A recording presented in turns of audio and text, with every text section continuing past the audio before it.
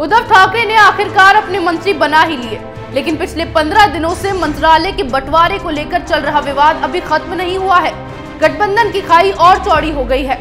और ऐसा लग रहा है कि उद्धव ठाकरे ने मुख्यमंत्री बनकर मुसीबत मोल ले ली है। क्या है पूरा मामला? देखते हैं इस रिपोर्ट।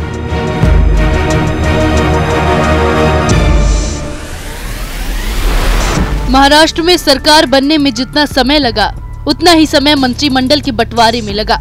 उद्धव ठाकरे ने आखिरकार अपने मंत्री चुन लिए। लेकिन मंत्रिमंडल के बंटवारे के साथ ही गठबंधन की गांठ कमज़ोर होती दिखाई दे रही है। जिस पार्टी को मनाने में उद्धव ठाकरे को सबसे ज़्यादा समय लगा, वही पार्टी सबसे कम समय में ठाकरे का साथ छोड़ने की योजना बना रही है। यह बात कांग्रेस की हो रही है, जिसके दरवाजे पर जाते जाते उद्धव ठाकरे और एनसीपी प्रमुख शरद पवार के जूते घिस गए थे। शिवसेना प्रमुख उद्धव ठाकरे की सरकार में जिस तरह कांग्रेस को दरकिनार किया गया है उससे पार्टी के नेता खासे नाराज़ हैं। दरअसल उद्धव ठाकरे के मंत्रिमंडल के गठन में देर होने का सबसे बड़ा कारण विभागों के बंटवारे को लेकर चल रही रस्साकसी ही थी। एनसीपी और कांग्रेस के सहयोग से मुख्यमंत्री बनने वाले उद्धव ठाकरे के सामने सबसे बड़ी समस्या दोनों पार्टियों को खुश रखने की थी। कांग्रेस मांग कर रही थी कि अगर उन्हें उप मुख्यमंत्री का पद नहीं दिया गया है तो गृह मंत्रालय और वित्त मंत्रालय उन्हें दिया जाए। लेकिन एनसीपी इस बात के लिए तैयार नहीं थी। शरद पवार को भी यही दोनों या फिर इनमें से एक मंत्रालय चाहिए था। इसके कारण विभागों का बंटवारा नहीं हो पा रहा था। लेकिन जब बंटवारा हुआ तो ऐसा हुआ कि कांग्रेस के कुछ नेता नाराज़ हो गए।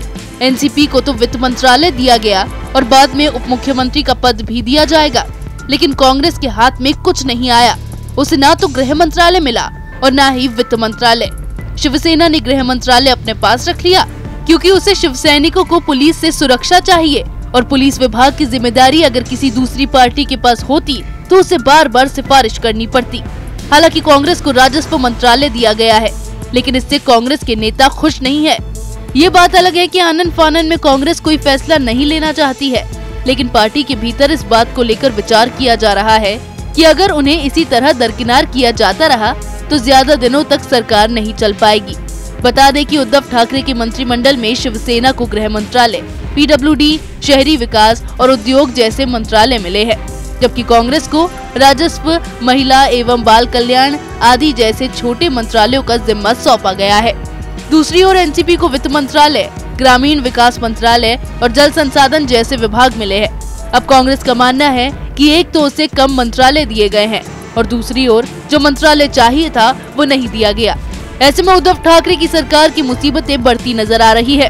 ठाकरे कितने समय तक मुख्यमंत्री रह पाते हैं, ये कहना मुश्किल दिखाई पड़ रहा है। कांग्रेस को न गृह मंत्रालय मिला और न ही वित्त मंत्रालय। ऐसे में कांग्रेस को नाराज़ तो होना ही था। कांग्रेस ने उद्धव ठाकरे को मलाईदार पद के लिए समर्थन दिया था, न कि विधानसभा में बैठकर तालियाँ बजाने के लिए।